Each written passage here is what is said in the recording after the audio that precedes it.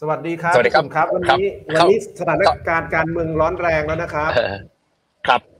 ก็ครับเมื่อกี้เข้าเข้ามาสักพักนึงแล้วเข้ามาสักพักนึงแล้วครับพอดีเดินทางใกล้ใกล้จะถึงจุดหมายเหลืออีกประมาณสองสามนาที แต่ว่าครับรีบเข้ามาก่อนจากในรถครับอ๋อโอ้ขอบคุณมากเลยฮะขนาดอยู่ในรครัถบอาจารย์ยังรอเลยนะครับ เนี่ยก็ให้ขอบคุณครับอาจารย์ สู้อาจารย์ไม่ได้ครับซึ่งอะไรอะพี่ปุ่นครับถามถามวันนี้เลยวันนี้การการเมืองเดือดจริงมมองอย่างไรครับกับการที่คุณพิธาบอกว่าพร้อมจะให้เพื่อไทยเป็นแกนนำจัดตั้งรัฐบาลแทน ไทยสร้างไทยรู้เรื่องนี้มาก่อนไหมครับว่าพิธาเนี่ยจะจะประกาศขนาดนี้แล้วว่าให้เพื่อไทยเป็นแกนนำจัดตั้งรัฐบาลแทนเนี่ย ผมได้พูดตั้งแต่ก่อนวันโหวตแล้วนะครับ บอกว่าที่เราดำเนินการอยู่เนี้ยมันเหมือนเป็นพิธีกรรม โดยมีบทสวดประมาณสามบท บทแรกก็คือแปดพักรวมกัน แล้วก็ว่าเป็นพรรคการเมืองอันดับแรกอันดับหนึ่งนะครับ ที่ประชาชนเลือกมา ก็เป็นบทที่หนึ่งแล้วจะมีหนึ่งจุดหนึ่งหนึ่งจุดสองอะไรก็แล้วแต่ แต่ว่าณวันนั้นเนี่ยสื่อก็ถามว่าแล้วคิดว่าจะผ่านไหม ผมก็บอกไปตามตรงว่าว่าไม่ผ่าน เพราะว่า เราเราเคยเห็นบรรยากาศในการจัดตั้งรัฐบาล เห็นบรรยากาศในการโหวตหรือการสนับสนุนกันอย่างจริงจังว่าจะเลือกเนี่ย มันจะเป็นอีกแบบหนึ่งนะครับ เพราะฉะนั้นเนี่ยผมก็บอกแล้วว่าไม่ผ่าน แล้วก็ยืนยันมาตลอดว่าโดยส่วนตัวผมเองเนี่ย ไม่ว่าจะเป็นใครหนึ่งในสี่ท่านของพรรคก้าวไกลและพรรคเพื่อไทยเสนอขึ้นมาเนี่ย เรายินดีที่จะสนับสนุน แต่ว่าอยากให้ทั้งสองพักหรือจะแปดพักร่วมฝ่ายค้านหรือจะเอาหลักๆ แค่สองพักนี่แหละ จับมือกันไว้ เหตุผลคืออะไร คือ การที่พี่น้องประชาชนออกไปเลือกตั้ง เขาดูเจตนารมณ์ของพรรคการเมือง ว่าคุณจะชี้กำหนดให้ทิศทางของประเทศไทย เป็นประชาธิปไตยหรือจะไปสืบทอดอำนาจต่อยอดให้กับเผด็จการต่อไปนะครับ ซึ่งทั้งสองพักในช่วงการเลือกตั้ง ก็เอาละอาจจะมีความเชื่อมั่นของประชาชนในคนระดับ แต่ว่าก่อนวันลงคะแนนครับ ทั้งสองพักได้พูดและยืนยันเป็นมั่นเป็นเหมาะว่า จะไม่ไปรวมพูดถึงขั้นว่า ถ้าอย่างนั้นก็ศูนย์พันติดหมดไปถึงขั้นว่า บางคนก็บอกว่าจะไม่เข้ามาในการเมืองบางคนบอกจะลาออกจะอะไรต่าง ๆ มากมายนะครับ แล้วก็ในสุดก็บอกโอ้ยเป็นการเข้าใจผิดท่านรู้ว่าประชาชนต้องการคำตอบชัดๆอย่างนี้เลยพูดชัดเจนเลยว่า จะไม่รวมกับพลังประชารัฐจะไม่รวมกับรวมไทยสร้างชาติ จะไม่รวมกับ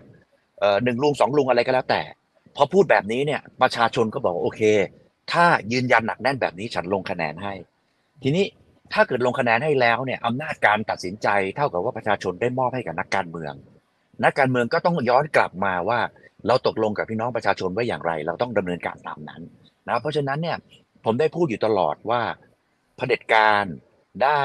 ฝังเอาการสืบทอดอำนาจ ไว้ในรัฐธรรมนูญ โดยเขียนง่าย ๆ เลยว่าการเลือกตั้งเนี่ยที่เลือกไปเนี่ยก็ได้จำนวนสสมา แต่ว่ากุญแจทำเนียบรัฐบาลเนี่ยเขาไปฝากไว้กับสว หรือถ้าเราจะตีความอีกแบบหนึ่งเนี่ย เราเข้าใจว่าพักก้าวไกลคือพักอันดับหนึ่งได้ร้อยห้าสิบเอ็ดเสียงพักเพื่อไทยได้อันดับสองคือร้อยสี่สิบเอ็ดเสียง ไม่ใช่ครับ ถ้าเลือกตั้งโดยวิธีนี้แล้วเอาสวมันเลือกเนี่ยพักอันดับหนึ่งคือพักสวที่มี250เสียง เลือกโดยคนน่าจะประมาณ2คนก็คือ2ลุงนี่แหละ ตั้งคณะกรรมการเข้าไปก็เป็นคณะ ที่ร่วมในการก่อการรัฐประหารเข้าไปกรรมการ คัดคนมาแล้วให้สองลุงเลือกจากจากประมาณสักสี่ห้าร้อยคนห้าหกร้อยคนมันเหลือสองร้อยห้าสิบคน เพราะฉะนั้นเนี่ยในการเลือกตั้งครั้งที่แล้วก็มีตัวชี้วัดชัดเจนที่เราเห็นแล้วว่า คะแนนออกมาเลือกลุงตู่ทั้งหมดเนี่ยร้อยเปอร์เซ็นของสวเลือกไปในทิศทางเดียวกัน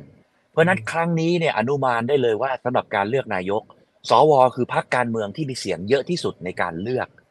แต่ กระบวนการประชาธิปไตย ประชาชนได้เลือกเพื่อไทยและก้าวไกลเอาแค่สองพักไม่ต้องแปดพักนะครับ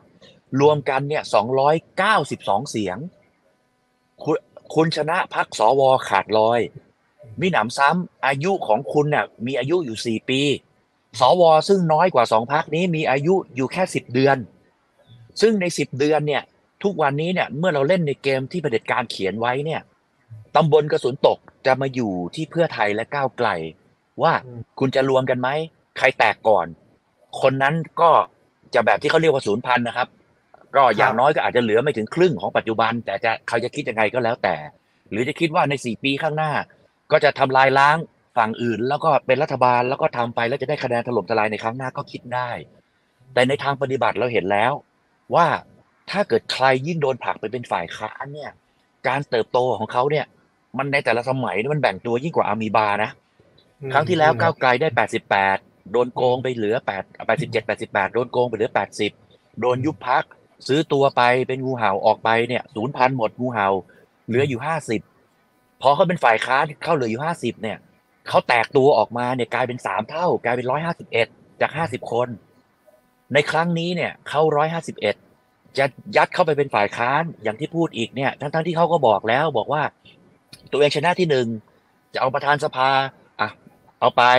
จะบอกว่าพักตรงกลางอะไรก็แล้วแต่เถอะก็อ่าไม่เป็นไรเขาก็ยอม พอถึงเวลาตรงนี้อีก เขาบอกว่าได้อันดับหนึ่งแต่เขายอมให้เพื่อไทยจัดตั้งรัฐบาลอืมเรากำลังจะสร้างกำลังจะข้ามบทสวดที่สองที่ผมพูดไปนะครับ บอกว่าบทที่สองคือเสนอชื่อคนใดคนหนึ่ง ในในทั้งสองพักก็คือบทที่สองจะเหลือแค่เพื่อไทยก็เป็นสามท่าน ก็คือคุณเศรษฐา คุณอิง แล้วก็คุณชัยเกษม เสนอใครก็ได้ ผมพูดแต่แรกว่าสำหรับไทยสร้างไทยซึ่งมีแค่หกเสียงเนี่ย เรายินดีสนับสนุนเต็มที่ และก็ถ้าเกิดน้อยอกน้อยใจโกรธกันหาว่าเราพักเล็กแต่แต่มาข้ามหน้าข้ามตาเสนอนู่นเสนอนี่เนี่ยไม่เอาเข้ารวมไม่เป็นไรเคลียร์ออกไปเป็นฝ่ายค้านเลย แต่จะลงคะแนนให้คุณเพราะว่าประชาชนอยากได้ คุณมาแก้ไขมาขจัดไอ้ความไม่ถูกต้องของประเทศชาติต้องการให้ประชาธิปไตยเดินหน้า แต่ถ้าเกิดจะข้ามบทสวดที่สองโดยที่ ไม่ลองกันแล้วล่ะว่า จะรวมกันแล้วก็เดินไปโดยเพื่อไทยเป็นแกนนำซึ่งก้าวไกลซึ่งได้อันดับหนึ่งเนี่ย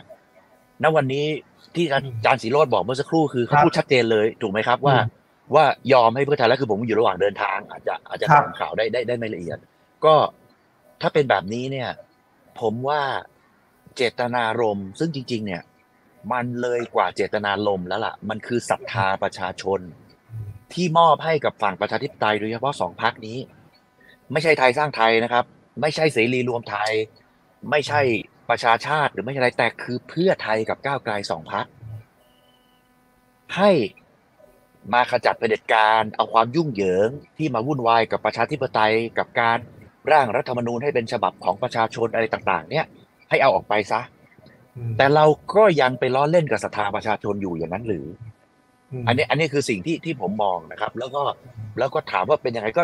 ถ้าอาจารย์สิโรดมองผมก็ ผมก็พูดแบบเนี้ยครับ ก็คือ คือมัน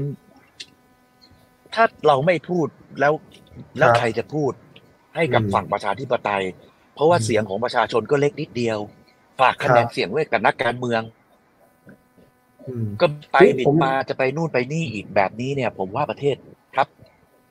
ครับอาจารย์วันวันนี้เนี่ย ผมผมถามพี่ปุ่นนิดนึงคือในฐานะพี่ปุ่นเนี่ยก็เคยเคยอยู่เพื่อไทยแล้วเพื่อไทยปี 62 เนี่ยครั ชบนะเลือกตั้งแต่ก็ครับไม่ได้ตั้งรัฐบาลทีนี้ทีนี้รอบครับเนี้ยก้าวไกลก็จะตกอยู่ในสถานการณ์เหมือนเพื่อไทยในปี 62 คือ ชนะอันดับหนึ่งประธานสภาก็ไม่ได้เป็นเพราะตอนนั้นอ้างว่าเดี๋ยวก้าวไกลได้เป็นนายก เพราะฉะนั้นประธานสภาไม่ต้องเอา แต่ตอนนี้มันกำลังจะไปกลายเป็นสถานการณ์ที่ก้าวไกลไม่ได้ทั้งประธานสภา ก้าวไกลไม่ได้ทั้งตำแหน่งนายก มันมันจะมันจะอธิบายกับคนไทยยังไงว่า พรรคที่ชนะอันดับหนึ่งในประเทศเนี้ยไม่ได้เป็นทั้งประธานสภาไม่ได้เป็นทั้งนายกชาวบ้านบ่นกันประเภทว่า แล้วอย่างนี้จะเลือกตั้งไปเพื่ออะไร กฎเกณฑ์มันต่างแบบนี้ครับ กฎเกณครัฑ์บมันต่างกันคือครั้งที่แล้วเนี่ยอืมการรวมกันของพรรคที่เป็นฝ่ายค้านครั้งที่แล้วเนี่ย เขาได้คะแนนสูสีกันมาก แต่ครั้งนี้เขาชนะกันขาดลอย คะแนนที่ได้มาจากประชาชนได้มาจากประชาธิปไตยอย่างแท้จริง คือตัวแทนประชาชนเข้าไปเลือกนายกเนี่ย เขาชนะขาดลอย แต่ว่าเรากำลังจะเอาใส่พานแล้วกลับไปมอบให้ แล้วก็เอาคะแนนสวมาอืมทีนี้ที่อาจารย์สีโรดบอกว่าเคยอยู่ในเพื่อไทยแล้วก็เป็นแบบนี้เนี่ยใช่ครับ แต่ความรู้สึกของผมเนี่ย ในเมื่อเราโดนกระทำชำเรามาแบบนี้เนี่ย วิธีการของเราก็คือต้องตัดวงจรอุบาทออกไป ไม่ใช่ครับว่ามาใช้วงจรนี้ในการทำร้ายคนอื่นต่ออืมมคือขณะนี้เนี่ย ถ้าดูเนี่ยแล้วมองอย่างอย่างคือตัวผมเนี่ย คือคนเนี่ยเข้าใจนะอาจารย์สิโรดจะมองว่าผมเนี่ย บอกว่าอะไปเสี่ยมบ้างไปแย่บ้างไปอะไรกับเพื่อไทยบ้าง ผมไม่ได้มีอะไรเคืองกับเพื่อไทยเลยนะครับ แล้วถ้าถามว่าก้าวไกลกับเพื่อไทยเนี่ย ผมเนี่ยใกล้ชิดกับเพื่อไทยมากกว่า ความรู้สึกของคนในเพื่อไทยก็ตอบเป็นแตกเป็นสองอย่างเหมือนกัน คนที่มองการเมืองระยะยาว เขามองว่าในครั้งหน้า เขาจะเลือกตั้งอย่างไร เขาจะได้คะแนนกลับมาอย่างไร ถ้าเกิดถามผมเนี่ยตัวบุคคลที่แสดงความคิดเห็นในมุมนี้เนี่ย อาจจะมีคุณจตุรนต์ฉายแสงที่เห็นชัดเจนครับอืม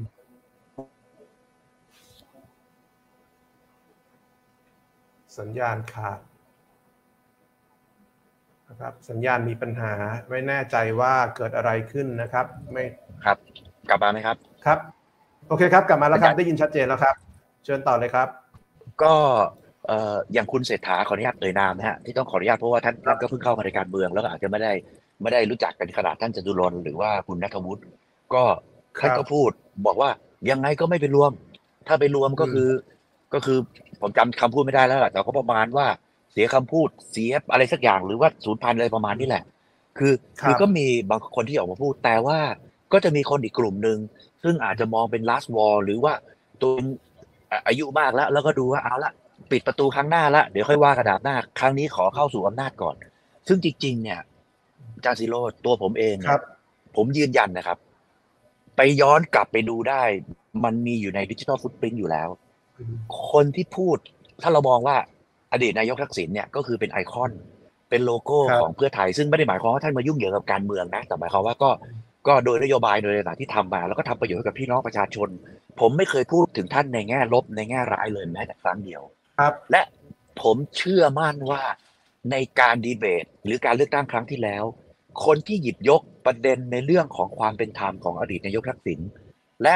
มีวิธีการในการให้ความเป็นธรรมกับท่านอย่างชัดเจนเนี่ย ผมเชื่อว่าเอาทั้งพักเพื่อไทยมารวมกันหรือทั้งหมดทุกคนมารวมกันเนี่ย ผมพูดเยอะที่สุด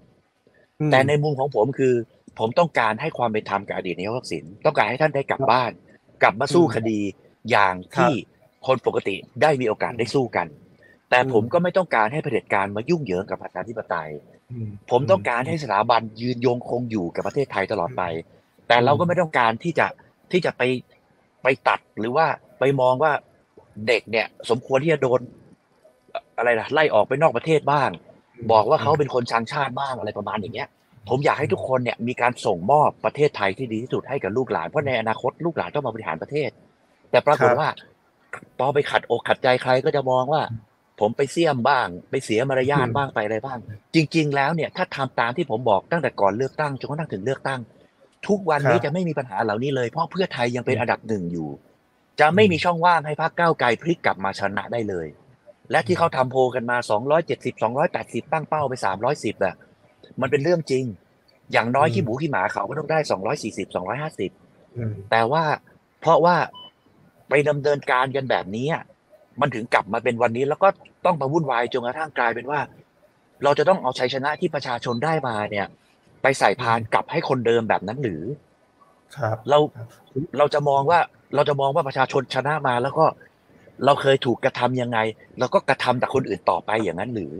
ถ้าเกิดเรามาจับกันแล้วตอนนี้เขาก็ยอมแล้วว่า เพื่อไทยเป็นแกนนำจัดตั้งเลย หมายความว่า เขามีสสมากกว่าสิบคนเนี่ย แต่เพื่อไทยเอานายกไปเลย เอาอืมประธานสภาไปเลย ซึ่งประธานสภาที่ออกมาเป็นท่านวันนอร์เนี่ย ถ้าพูดกันตรงๆ แล้วผมก็เคยอยู่ในเพื่อไทยเนี่ยอาจารย์วันนอร์ก็ไม่ได้แตกต่างจากคนที่อยู่ในเพื่อไทยอะครับ ก็คือครับก็คือก็คือมีความสนิทสนมมีความใกล้ชิดกันเป็นปกติอยู่แล้ว เพราะฉะนั้นเนี่ยอืมต้องเรียนต้องเรียนกับอาจารย์ว่าว่ามันมันถึงขั้นนี้แล้วอะจะต้องอืมบิดเบือนประชาธิปไตยไปขนาดนั้นหรืออืมอืมจะทำให้ผมถามประชาชนพี่ผิดหวังครับครับ ขอคำคำคำถามพี่ปุ่นสุดท้ายนิดนึง เพราะว่าครับครับในผมฐานะไทยอยู่ในไทยสร้างไทยแล้วอยู่ในแปดพักร่วมด้วยเนี่ย วันนี้เสครับรีเสรีรวมไทยพลตำรวจเอกเสรีพิสุทธิ์ออกมาบอกว่า พร้อมจะจับมือกับใครก็ได้ ให้ได้ตั้งรัฐบาล ประวิทย์ก็เอา ใครก็ได้ยกเว้ครันบยกเว้นประยุทธ์ไม่เอาอยู่คนเดียวแล้วก็บอกด้วยว่า ถ้าเกิดการจัดตั้งรัฐบาลมันมีปัญหาพิธาเป็นนายกต่อไม่ได้เนี่ยครับให้ก้าวไกลครับเสียสละเป็นฝ่ายค้านเนี่ยไอ้การพูดอย่างนี้มันมันมันผิดปกติไหมครับ เสรีรวมไทยบอกว่าให้ก้าวไกลไปเป็นฝ่ายค้าน แล้วเสรีรวมไทยบอกว่า พร้อมให้พลเอกประวิตยเข้ามาจับมือกันได้เนี่ยแปดครับพักร่วมจะไปกันละกันได้ต่อครับ เสรีรวมไทยให้ก้าวไกลเสียสละเป็นฝ่ายค้านครับครับ คือผมต้องเรียนว่า ก็เป็นเป็นสิทธิ์ของแต่ละท่านที่จะคิดนะครับ ท่านเสรีก็มีสิทธิ์จะคิดได้ แต่ว่าประชาชนที่สนับสนุนพรรคการเมืองเข้ามาเนี่ย มันมันมันมากกว่าท่านเสรีหนึ่งคนก็คือ 14 ล้านคนที่สนับสนุนก้าวไกลนะครับแล้วผมก็เชื่อครับว่าคนที่เลือกพรรคเพื่อไทย จากการที่พรรคเพื่อไทย บอกว่าจะไม่ไปรวมกับลุงหรืออะไรก็แล้วแต่ก็มีบางครั้งที่บอกว่าอะไรก็เกิดขึ้นได้ แต่ว่า ในครั้งหลังๆ ก่อนเลือกตั้งเนี่ยคำพูดออกมาในมุมที่ประชาชน หรือตัวผมเองก็เข้าใจว่าเอาละตอนนี้นิ่งแล้วถ้าอาจารย์สิโรจน์จำได้เนี่ยตอนนั้นเนี่ยความไม่ชัดเจนที่เราพูดถึงเนี่ย มันกลายเป็นว่าในความชัดเจนที่เราพูดถึงเนี่ยมันกลายเป็นว่า ผมเนี่ยไปไม่ไว้ใจทำไมไม่ไว้ใจเพื่อไทยตลอดเวลาทำไมไปเสี่ยมเขาตลอดเวลา ทั้งๆที่สิ่งที่เราพูดเนี่ยคือการให้ฝ่ายประชาธิปไตยรักกันและเดินไปด้วยกัน แต่มันกลายเป็นว่าสิ่งที่เราพูดเนี่ยไปเสี่ยมให้เขาแตกแยกกันอย่างนั้นหรือ ผมก็เงียบนะครับพอบอกเสียมารยาทผมก็เงียบ ผมก็ไม่ได้พูด แล้วก็ปล่อยไป แต่ปรากฏว่าณเวลานี้เนี่ยยังไม่ทันเลือกในบทสวดที่สองเลย ยังไม่ทันแตกพักแล้วก็ชูพักเพื่อไทยคนใดคนหนึ่งเป็นเลย ซึ่งทางฝั่งฝั่งของไทยสร้างไทยหกเสียงเนี่ยเราพร้อมจะยกมือให้อยู่แล้วก้าวไกลอีกร้อยห้าสิบเอ็ดเสียง เขาก็พร้อมจะยกมือให้อยู่แล้วจากการที่คุณพิธาบอก แล้วทำไมถึงจะต้องไปสลัดกันขนาดนั้นล่ะทำไมถึง ไม่เดินหน้าไป และอย่างที่ผมบอกครับ อาจารย์สวเหลืออีกสิบเดือน คนก็จะบอกว่าจะต้องไปรอถึงสิบเดือนรอไม่ได้ประชาชนจะผูกคอตายกันอยู่แล้วจะอะไรกันอยู่แล้ว คือผมเชื่อว่าถ้าเราจับมือกันให้มั่นเนี่ย การที่ตั้งรัฐบาลไม่ได้เนี่ย น้ำหนักตำบลกระสุนตกเพรสเชอร์จะไปอยู่ที่สวว่าคุณคือจระเข้ขวางคลอง แล้วคุณก็ขวางประชาธิปไตยไว้แบบนี้เนี่ย คุณคุณกลับไปคิดใหม่ไหม ผมเชื่อว่า ภายในระยะเวลา เดือนสองเดือนเนี่ย เขาก็เปลี่ยนกันแล้วเขาก็เขาก็บนเสือกลับกันอยู่แล้ว เพราะว่าเขาจะขวางทำไมในเมื่อเขารู้ว่ายังไงเขาก็ไม่ชนะ แต่ว่าถ้าเราไม่มั่นคงแล้วเรามองว่า เราจะไปใช้กลไกที่เคยทำร้ายประชาธิปไตย มาทำร้ายคนอื่นต่อไป แล้วก็เป็นตัวอย่างให้กับคนรุ่นหลังกับรุ่นลูกรุ่นหลานแบบเนี้ยว่า นี่คือวัฒนธรรมการเมือง ว่าไม่มีมิตรแท้ไม่มีศัตรูถาวร ผลประโยชน์อยู่ตรงไหนอำนาจรัฐอยู่ตรงไหนเราไปตรงนั้นเนี่ย เราจะ เราจะทำให้มาตรฐานของการเมืองประเทศไทยเป็นอย่างนี้ตลอดไปหรือ คือคือผมว่า ผมว่าน่าจะกลับไปคิดอะครับ แต่พรรคการเมืองครับน่าจะกลับไปคิด และสองพรรคใหญ่กลับไปคิด แล้วก็มาสรุปกันแต่ผมเชื่อว่าประชาชนส่วนใหญ่เนี่ยจะมีมุมมองในมุมอย่างที่ผมได้ได้ได้ได้บอกกล่าวเนี่ยครับ ครับโอเคครับขอบคุณมากครับขอบคุณมากครับครับขอบคุณมากครับพี่ขอบคุณปุ่นครับขออนุญาตขอบคุณมากขออนุญาตครับขออนุญาตขออนุญาตสวัสดีมือเดียวนะครับ วางโทรศัพท์ไม่ได้ครับผมสวัสดีครับอาจารย์ครับครับผมขอบคุณครับสวัสดีครับ สวัสครับดีสวัสคดีรับครับสวัสดีครับ ก็อันนี้เป็นมุมมองของไทยสร้างไทยนะครับว่าเรื่องของเออสิ่งที่ทางเสรีรวมไทยออกมาบอกว่าให้ก้าวไกลเสียสละไปเป็นฝ่ายค้านก็เป็นมุมมองต่างคนต่างคิดนะครับ แต่ว่าในประชาชนที่เลือกก้าวไกลในประชาชนที่เลือกเพื่อไทยเนี่ยเป็นล้านนะครับ อาจจะไม่ได้คิดอย่างที่เอ่อ พลตำรวจเอกเสรีพิสุทธิ์หรือว่าหัวหน้าพักเสรีรวมไทยคิดก็ได้ ดูคลิปจบแล้วนะครับ อย่าลืมกดติดตาม และสมัครสมาชิก YouTube มัติชนทีวีโดยการสแกน QR Code ด้วยนะครับ